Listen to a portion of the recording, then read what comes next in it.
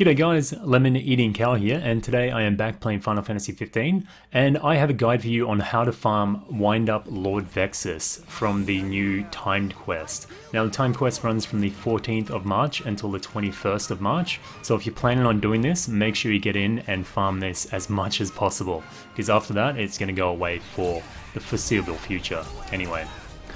So this hunt is concerned with uh, breaking the horns of the behemoth and there's a chance that it will drop the Wind Up Lord Vexxos. Now why is that important? The Wind Up Lord Vexxos, if used as a catalyst in spellcrafting, will actually give you 52 casts of a limit break magic, which enables you to do 99,999 damage on spellcast. It also sells for 500,000 gil, so a really, really good item to have. Now for this, I highly recommend the Ragnarok sword from the Booster Pack Plus, but if you don't have it, anything that does high warp strike damage or high appendage breakage damage will do. Uh, hard edge, duel code, uh, even Cerberus, if you're good with that one, will work. So it's it's quite a dirty method.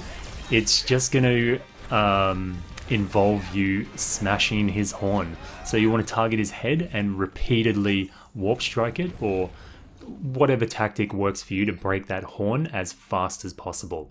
Most of the time, you will get the behemoth horn, that is the more common drop, but sometimes you'll get the wind up Lord Vexxos. I did this farm 12 times in a row, and of those 12 times, I got 5 of the wind up Lord Vexxos. I'm not sure if that is just my chances and the drop rate is incredibly low, but for me, my chances were about 40% or so of the time I got the Wind Up Lord Vexxos. So it's just a matter of if you do fail the hunt or you break the horn and you only get a behemoth horn, all you have to do is leave the area and then the hunt will abort and then you head back to the area that I showed before and just reinitiate the hunt and do it again. Uh, it can be a little bit time consuming but it is a better alternative than the Justice Monsters 5 if you don't like playing the pinball game in this game. But also, on that note, if you don't feel like doing this uh, farm and you think it's a bit cheap, then I also have a guide that I'll link in the description below where you can farm the Wind Up Lord Vexxos from the Justice Monsters 5 machine in Altissia. So you can see there, I just broke his horn and I got the Wind Up Lord Vexxos, just as a, uh, a little bit of proof that it is possible. I originally thought it was from killing the behemoth, but it actually comes from warp striking and breaking his horn. So again, the importance of this is the Wind Up Lord Vexxos, which gives you the 52 casts of the limit break magic, which is the most powerful magic in the game, or you can sell it for 500,000 gil. But if you've cleared the quest at least once, money really shouldn't be an issue for you at this point. So as far as efficiency goes, for me to just break the horn, it takes about on generally about two to three minutes. And then after I break the horn, if I get the behemoth horn or if I get the Vexxos, regardless, I just exit the uh, the arena and reinitiate the quest. But it's also possible if you can kill the um, the behemoth in about six or seven minutes, it's still an efficient way to farm XP, so that's an option as well. But as far as efficiency goes, if you are killing this guy and it's taking you 15, maybe 20 minutes, I don't believe this is the most efficient way to do it.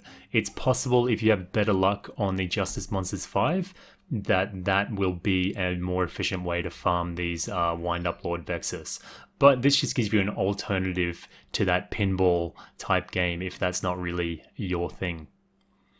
So anyway, guys, um, I have to mention that this was mainly the uh, the motivation behind making this video was actually because somebody on Facebook, a sub of mine, uh, messaged me. His name was Alfredo Falcon Rosado.